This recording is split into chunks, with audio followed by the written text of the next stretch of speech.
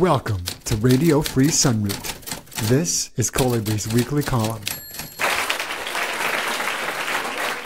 January 9th, 2018. The Ugly Patriarchal Truth. In the U.S., most men simply don't like women. Said Angela Davis, quote, To understand how any society functions, you must understand the relationship between the men and the women. End quote. Sexual abuse and harassment have been getting some overdue attention lately from the online hashtag MeToo movement, and with the in real life exposures of high profile perpetrators in Hollywood and DC. Also contributing to increasing awareness for the past year has been the presence in the Oval Office of a verifiable rake. The fact that more men are now questioning their own behavior is a good thing. It's only a start, but it's requisite for social progress. We'll see how far it goes. We are just scratching the surface, considering the depth and the breadth of sexism in our culture. At the basic person to person level, we face a tremendous challenge in the U.S. Most men simply don't like women. By like, I mean genuinely appreciate, respect, and value as another human being of equal worth. This bears immediate repeating. Most men don't appreciate, respect, or value women as human beings. Take a moment to let that sink in. So, if you are a woman seeking fulfilling relationships with men, whether professional, friendly, or romantic, to name only a few of many possibilities, your pool of applicants is mostly made up of people who do not appreciate, respect, or value you as another human being of equal worth. Sure, there are men out there who will declare with great gusto that they love women, but they're only talking about sexual attraction. Such desires can be pursued with genuine appreciation, respect, etc., but more often than not, they're not. Hence, hashtag me too. My high school was an all boys Catholic institution run by Jesuit priests. This was in the mid 80s, and it was a seriously homophobic and sexist place. It seemed like every other word I heard was fag. One day, there was a class discussion on the topic of women and relationships. Students were invited to speak frankly, and one certainly did when he got up and said that most guys at the school thought of a girl as being, quote, a piece of meat with a hole in it, This got a good round of laughter, but also clearly hit the mark. In my experiences among men in the three decades since then, I can attest that this is an attitude that many, many men never grow out of, regardless of class or race.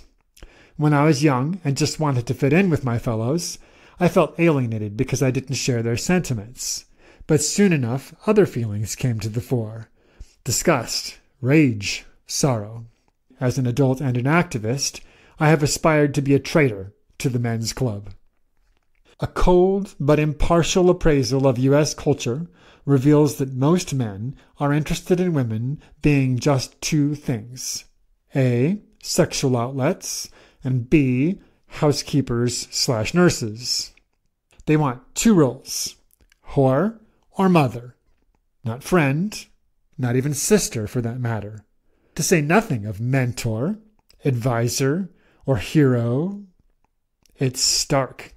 For men, the roles of women can be reduced to one verb to serve.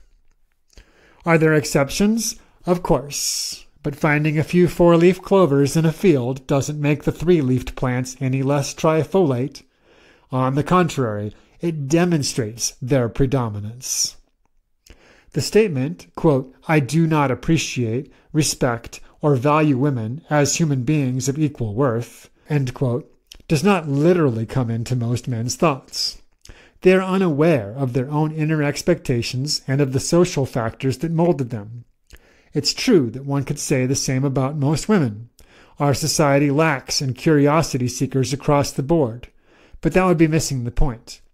All else being equal, including ignorance, about one half of the population is considered superior to the other half. The inferior half, moreover, is regularly subjected to a range of abusive treatment including violence. Additional institutional factors include economic inequities like less pay for the same work, and social injustices like lack of access to reproductive health care. This is only a small part of the picture. So it's not just a case of adding insult to injury for men to not like women. In the greater context, this lack of affinity is mortar for the edifice. Without it, the wall couldn't stand. After all, are you going to let someone you like be mistreated? Would you purposely hurt them, physically or otherwise? If they need something you have, will you hold it back from them? It speaks to the profound sickness of our society that such behaviors are indeed perfectly acceptable within our nominal friendships and families. But in friendships and families that were functional, as opposed to dysfunctional, there would be no place for dominance. Can one like one's servant? In an authoritarian arrangement, equality is absent by definition. She, who is constrained to stay, has made no meaningful choice to be there. He, who oversees, has reduced personhood to property. This is always the undercurrent. One big tip off that most men don't like women is the fact that they usually don't have any friends who are, and don't want to. Men's social associations range from the casual, bar buddies, to the organized, gangs.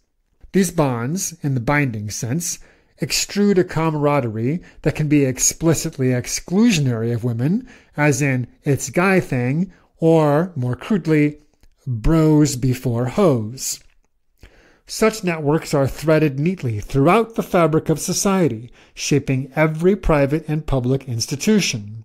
The quote, old boys club is what its upper class manifestation is called, but the cutesiness of that appellation belies its overbearing malignancy, which is anything but pretty. Regarding their lack of friendship with women, it is sad but true that most men don't have the faintest idea what they're missing out on, and will probably die ignorant of it. When men are directly presented with the fact of sexism, most react in one of the following six ways 1. Deny its existence outright. 2. Justify it on cultural grounds, such as religion or ethnicity. 3. Exonerate it with pseudoscientific criteria, such as fake Darwinist claptrap. 4 tolerate it as a subject, but refuse to take it seriously. 5. Pretend to care in order to get laid. 6. Oppose it in name, but not in material deed. Men like these are all firm believers in the ultimate beneficence of the status quo. This loyalty to the mainstream blinds them to the reality of their lives and those of the women they know. Despite any claims to the contrary, they are men who simply don't like women. Their responses do not express appreciation, respect, and value of women as other human beings of equal worth. They are all supremacy, standing its ground. Why are so many men like this? Because patriarchy. Sexism is but one element of patriarchy, a larger syndrome that targets the planet itself for oppression.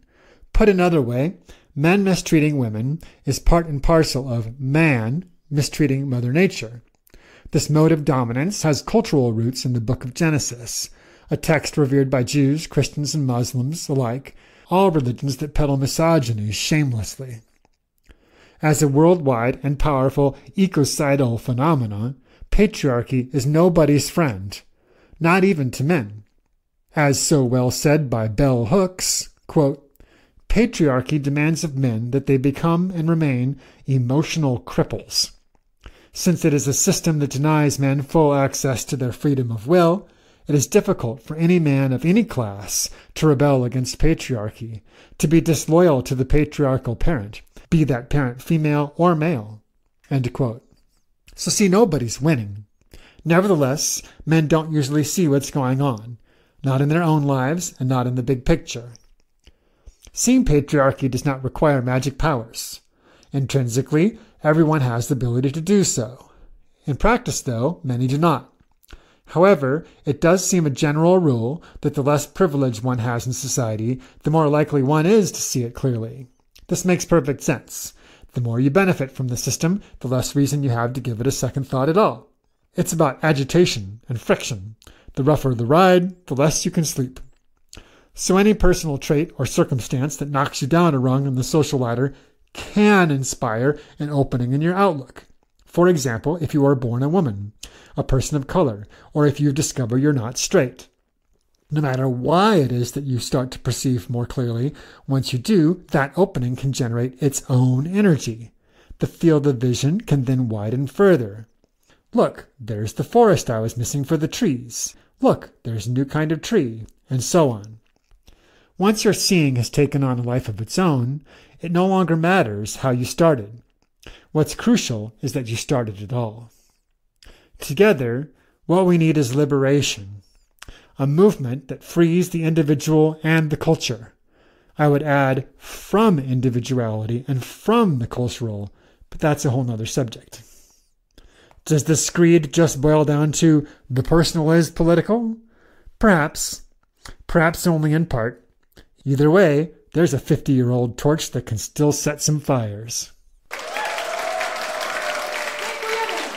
If you enjoyed this reading today, please consider supporting me on Patreon at patreon.com slash Kollibri, K-O-L-L-I-B-R-I.